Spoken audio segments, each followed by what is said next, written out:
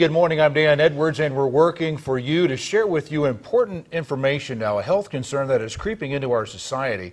Uh, Due to an increasingly sedentary lifestyle in our society, there's a new ailment that we're calling sitting disease. Of course, we're not calling it, the World Health Organization is. And to talk more detail about this is Dr. Mark Ringel from the Premier Health Network. Thanks for joining us, Doctor. Thank so, you. again, it's the sitting disease. To some, it may seem silly, but you're saying this is a very serious condition.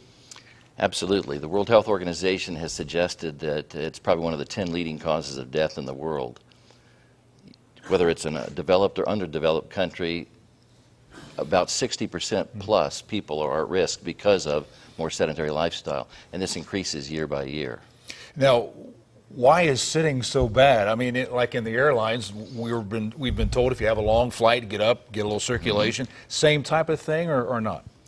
Well, sitting for long periods of time decreases metabolism, and this mm-hmm. has many effects on multiple diseases diabetes, hypertension, cholesterol problems, and obesity itself is becoming a major problem. 97 million people in this country are overweight or obese. And these, even obesity is a How- risk did you- factor. Did you say 97? 97 between overweight and obese, 97 million. I did not realize it was that.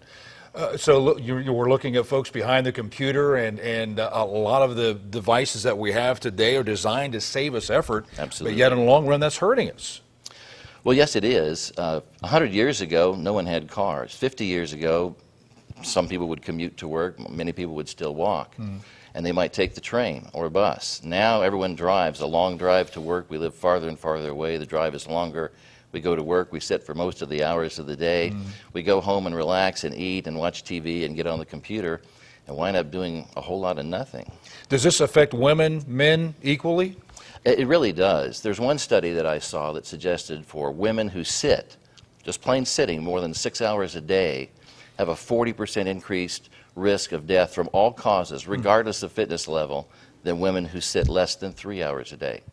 So, what we should do is get up and get going. Absolutely. Uh, at work, there's many things we can do. There's a term called NEAT, non-exercise uh, uh, activity thermogenesis, meaning be active at work. Instead of sitting, get up and stretch.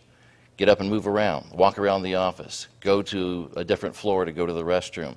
Take the steps, not the elevator. Park farther away. And you can contend this at, at home as well, as far as more active uh, activities when you're at home. Doctor, thank you for letting us know about sitting disease and the, uh, the effects it has on us. Thank you for being with us this morning. Thank you, Harry. Appreciate your time. Our time now